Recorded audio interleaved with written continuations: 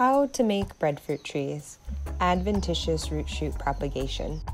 First, sanitize your tools.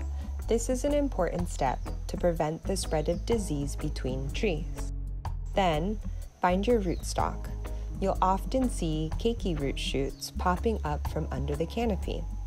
Use roots that are 4 to 8 centimeters in diameter. Before digging the root, use a knife or paint to mark the top side of the root because you will need to scar it later on. Dig out your roots by carefully loosening the soil around them.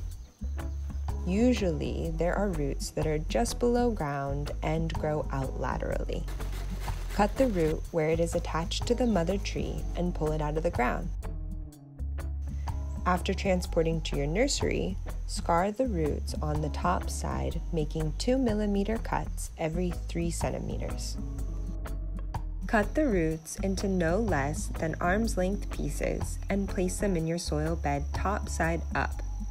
Use soil that is well draining and high in organic matter like forest soil. The goal is to maintain moisture and fertility in your beds, so you may have to fertilize as your root shoots mature.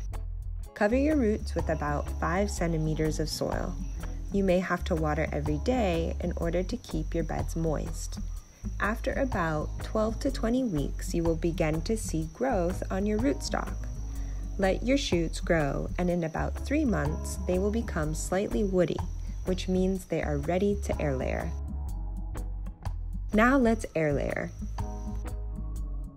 The nodes on the shoot are home to plant hormones and will produce roots, so cut just below the node.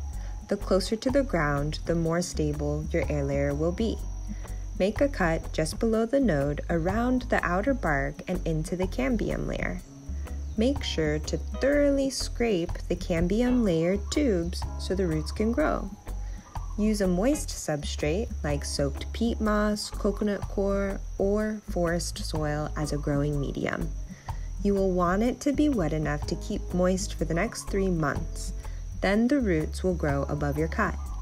Secure your air layer by using aluminum foil, plastic wrap, or similar materials to hold the medium in place while the roots grow. Wait about three months or until you see a root ball, and when it is mature, cut the root shoot away from the root stock. To pot your saplings, again, use soil that is well draining and rich with organic matter. And voila!